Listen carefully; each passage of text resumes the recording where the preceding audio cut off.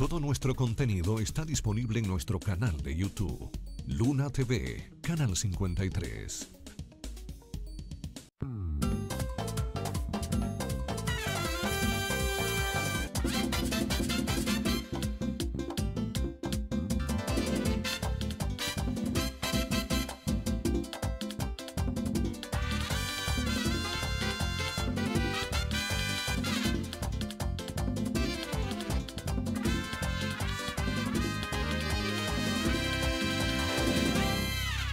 Saludos, aquí están ellos, los opinadores Luna TV, Canal 53, el canal de los campeones, iniciando esta semana, José y David.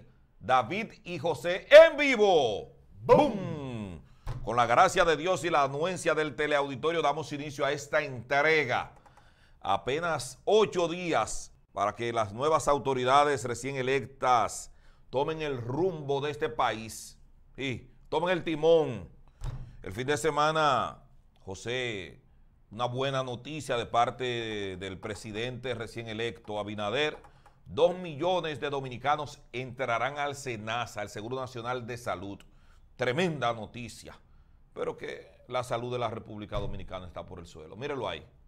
Una noticia que llena de regocijo a la clase pobre de este país, a la clase trabajadora que necesita tener un seguro médico, aunque sea para que le pongan mentiolé, como dicen, aunque sea para que le den una aspirina y la, y la allanten. Pero con eso hay que regularizar la situación de la repartición de, de lo que dejan esos seguritos.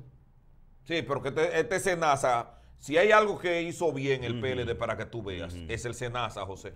Eso está claro. Eh, óyeme, si hay algo que hizo bien y todas las instituciones del Estado deberían pagar su cenaza tranquilamente y mandar a los pobres y a los trabajadores Muy de acuerdo. al cenaza porque el cenaza paga pero hay y que, resuelve. hay que revisar a los médicos que distribuyen los chelitos del cenaza porque hay- en los hospitales usted va con el cenaza lo atienden mejor aparece medicina que inmediatamente que, inmediatamente no pero te entiendo eso que tampoco es algo es algo que el PLD hizo bien por lo menos en, en- en salud en cuanto al seguro médico porque los hospitales ahora yo quiero eh, las atenciones No, los yo- medicamentos Pero le voy a decir algo, eso a mí no me da muy buenos indicios, a mí no me da buenos indicios.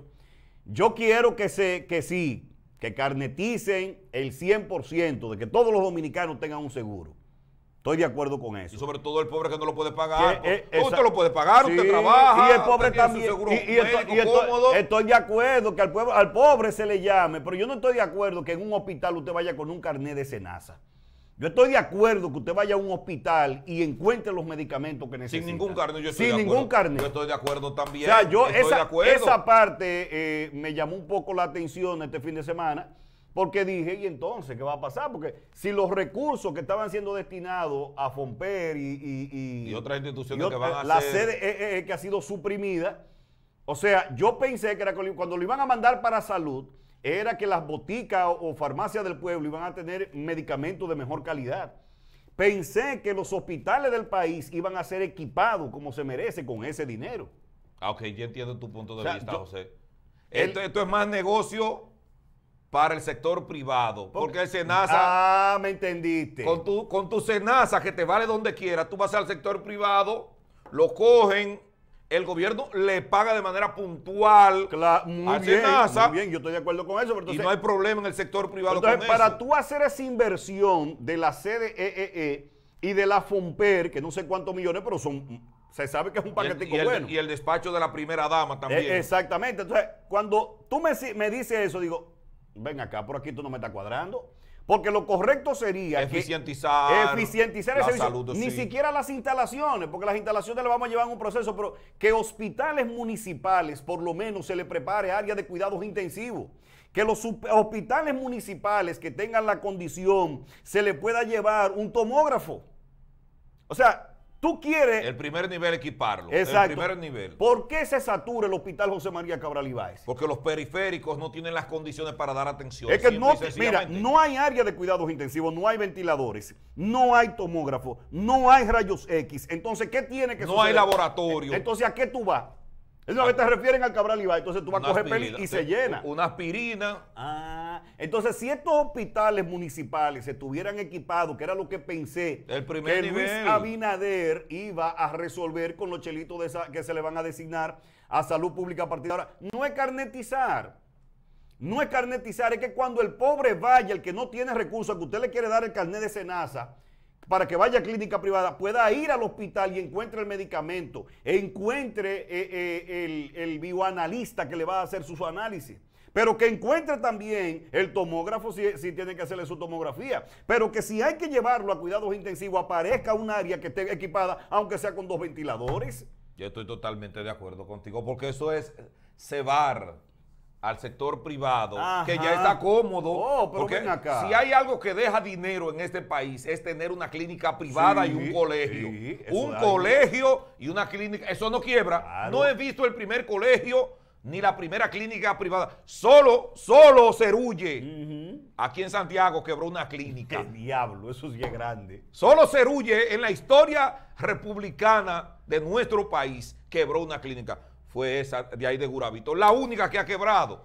Pero óigame, es negocio y estoy totalmente de acuerdo. Y déjame- la gente merece su seguro, pero, Vamos a resolver abajo pero primero. es mejor, como alguien que me escribía. Vamos a en- resolver abajo. En, en un programa pasado, uno de los videos, me decía, mira, en España el control del sistema de salud lo tomó el gobierno, privado y público. Privado y público. La autoridad dijo, no, no, no, hay una pandemia, decidimos nosotros. El sistema italiano, ¿qué Así hizo José? que. Dijo, no, no, no, no, no. Nosotros tomamos el control del sector salud, privado y público a disposición de la gente a Ahora, disposición de la gente. Entonces, el que le da la gana de ir a un, a un privado va, pero no importa. Va a ser atendido el pobre, pero- y el que tiene dinero y, el que no tiene y dinero. va a encontrar la misma condición en clínica o, hospital. hospital. O sea, es lo que te estoy diciendo aquí. Que me excusen si, me estoy, si estoy confundido con esto, pero que me saquen de dudas. Porque en realidad la primera impresión que yo me llevo es, ok, las clínicas, no le vamos a hacer competencia a las clínicas. Que se le haga competencia si hay que hacerle, Pero- José. No, no, no, pero está bien, si ellos no se la quieren hacer, que no se la hagan, pero prepara a lo, a, a lo- porque por ejemplo, la pandemia del COVID-19, ¿por qué que no, no no ha podido ser enfrentada y mucha gente está muriendo? Es que en los hospitales hay gente que no tiene recursos, no puede ir a una clínica. Entonces, ¿qué hace? una factura de dos millones y medio Pero de claramente- pesos de una persona en una clínica. oh, Entonces, ¿qué tú haces? Te automedicas en tu casa. Te complicas. sin eh, eh, tirando cosas que nadie te ha, eh, medicamentos, té y cosas que nadie te ha recomendado. Entonces, ¿qué es lo que pasa? Termina esa persona muriendo. Entonces, ahora, si usted va a un hospital que sabe que la salud es gratuita, que tiene un ventilador, que un área de cuidados intensivos, que allí pueden aparecer medicamentos, usted no tiene el temor de irse a la clínica y de posiblemente hasta perder la vida en su casa sentado, por temor a que no tiene dinero para enfrentar eh, el, el cobro que le vaya a suceder en la clínica. Entonces, no es enfrentar la clínica. Pero lo que resolvemos lo del sistema de salud, José, que a la gente se le dote, ¿verdad? Que si de su carnecito y que busque la salud en el sector privado Sí, porque eso- esos carnecitos tienen que ser pagados cuando usted va con ese carnecito a la clínica Claro, privada. pero y, lo que y se no, resuelve no eso recu- es que toma tiempo, José. Pero- estamos en medio de una pandemia. David, pero Es ¿cómo que- garantizándole a dos David, millones de dominicanos que ahora mismo no tienen cobertura. Pero yo me imagino Porque el sistema de salud en este país, hay que decirlo claro, colapsó. Eso no sirve. Pero en cuanto- este país la salud pública no sirve. En cuanto- Y en, en- una semana Binader no lo va a resolver. ¿En cuántas clínicas rebotan?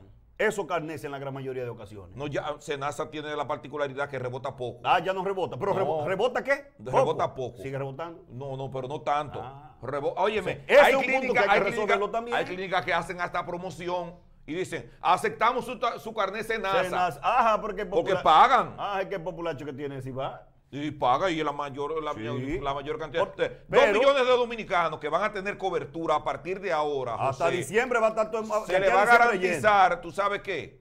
Que puedan, como tú dices, no quedarse en su casa con los síntomas. Ah, yo tengo un carnecito, voy para la clínica. Déjame ir a la clínica, déjame coger para la clínica. Lo ideal si fuera que los hospitales No, lo, funcionaran. no, lo, lo ideal es que no existiera el sector privado, que todo fuera público, y- pero que todo funcionara. Pero ¿verdad? yo, yo espero que eh, espero que Luis cuando llegue, Seríamos comunistas, aparte de esa medida, entonces que venga buscando la solución de los hospitales. de manera paulatina, equipando, que el sistema funcione. Porque en Exactamente, papel, porque- en papel, José, el mejor sistema de salud del planeta lo tenemos nosotros ¿A dónde? en papel. ¿Qué pasa? No, en, no, en ¿cómo que en diseño. papel? No, no José, es eso. José, Porque en los hospitales- diseño. los hospitales grandes- Cuando, cuando vamos a la ejecución, porque una cosa es plano y papel, y otra cosa es cuando vamos a la ejecución, que ahí está el robo, la corrupción en la construcción de hospitales, el robo, aparte Bueno. de la, en, en la Pero- construcción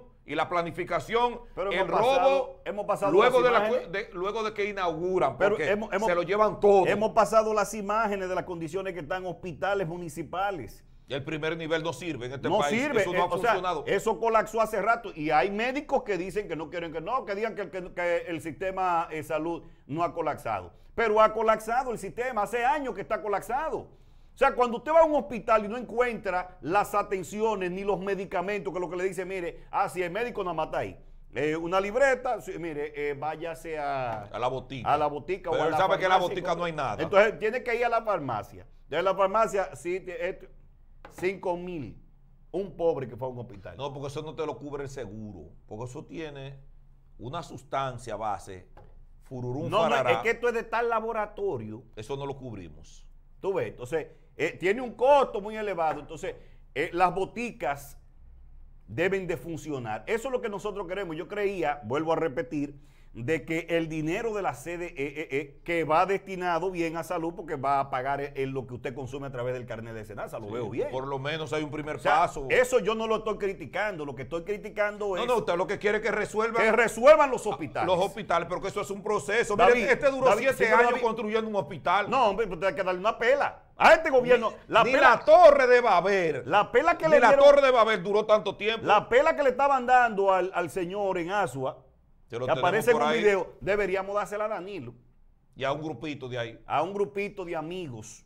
Ya, que ya, mira, Al que salió de aduana. a, a Jan Alain, a Cunjar, A ese muchacho a de, de- de- de aduana. Jan al, Alain. jefe, al jefe de ese, Compra a la directora de compras y contrataciones. Yocasta, Porque salió ahora a decir que sí, que violaron todos los los en procesos la compra de, de- de la capa de asfáltica. los 11.500 millones de, de- de- de De- pesos en asfalto. Continúa, ¿a quién más hay que darle otra pela? ¿A cuál más? Infote, ¿qué se llama? Fonpe. Ah, Fonpe. Me dijeron que, está, que, aquí hay empleados y comunicadores orondos, cómodos con Fomper. no, que Fomper al final de sus días, Fernando Rosa se despidió de ellos con buenas cancelaciones, ¿Cómo buena buenos emolumentos que le dieron parte de esos emolumentos Pero hermano, escúcheme. para comprar hasta apartamentos. Pero perdóneme, ¿por qué él está cancelando? Hicieron mal, mal trabajo. No, no, para no dejarle ese problema al que viene. No. Eso fue lo que dijeron en aduanas. Porque es que el Estado continúa. O sea, el Estado continúa. No es una empresa que él está vendiendo. Ni una empresa que va... Él está favoreciendo a la gente que le sirve. Pero es que eso no puede, es que el Estado continúa. que eso el Estado no se detiene. O sea, usted tiene que esperar que el que venga, cuando llegue, encontró a todo el mundo ahí, digo, bueno, yo quiero seguir con usted, con usted, con usted. A usted, usted, usted lo vamos a cancelar. Con lo, Dale que, sus estable- prestaciones. con lo que establece la ley. Porque si es eh, eh, eh, prestaciones como la que aparece el jovencito de aduana, y óigame, nos jodimos, aquí no va a quedar un peso en el país.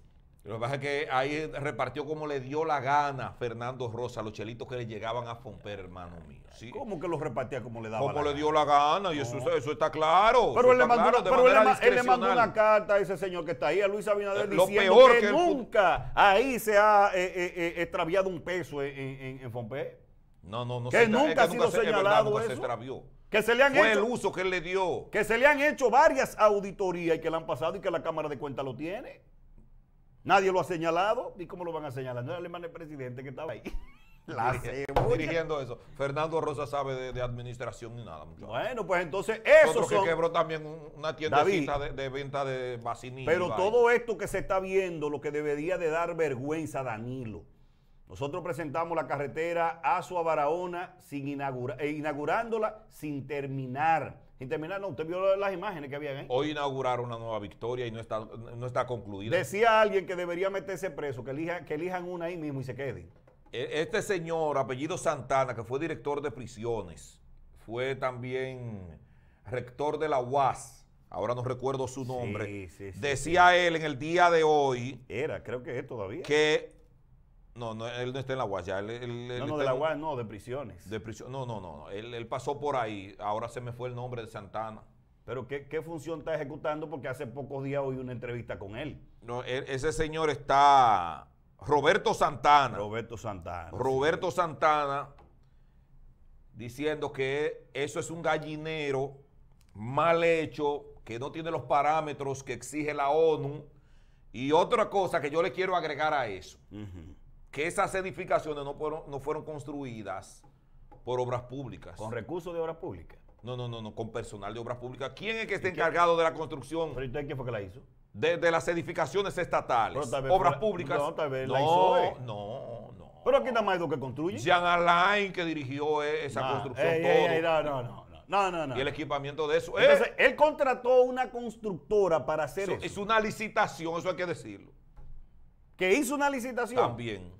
Pero, ¿y a, a cómo- lo mejor fue. pero, pero perdóneme, maestro, ¿y cómo va a ser una licitación para construir, para, eh, eh, eso debió hacerlo obras públicas. o la hizo, eh? Una de las dos. No obras públicas, hoy SOE no está tampoco para construir obras públicas. Pero que, pero que la hizo ha construido el país entero. No todas las escuelas de este país. la ¿Y quién está construyendo el hospital Cabral Ibáez? La OISOE al Y final. entonces, ¿y por qué no podía de obras construir? públicas. El caso es que dice Roberto Santana que eso es un negocio redondo, que ahí hay corrupción, No, ¿cómo va que a no ser? fue hecha No, con no, los parámetros que dice la ONU y hay mucha gente, muchos abogados del país felicitando a Jean Alain y al Ministerio Público. Hay que felicitarlo porque la, la victoria está como que duermen uno arriba de otro. Sí, con- ahora va a ser un gallinero diferente, más amplio. Pero, y, pero ¿quién va a revisar eso? No hay tiempo para revisar, No que la tiempo. revise Abinader. Mire. El caso que ya Danilo inauguró. Inauguró ya la victoria, ya salió Todo lo que. Danilo ha hecho, porque ahora está él haciendo todo lo que se le pega la gana. pero que ya no le va a dar tiempo ¿A que a inaugurar? ni a terminar muchas sobre Cabral y Báez. Pero es que tú no- dice que vienen para acá es que- es que- antes del sábado. Pero es que tú no puedes inaugurar lo que tú no has concluido. ¿A dónde tú vives, José? ¿Y dónde que ustedes? ¿Dónde que tú vives? Esto- ah, pues, tú estás en estamos llenos de gatos. Oye, vamos a la pausa, regresamos. Ahora ahora. estamos llenos de gatos entonces. Vamos a la pausa, vamos a la pausa, vamos a la pausa, muchachos. Ya.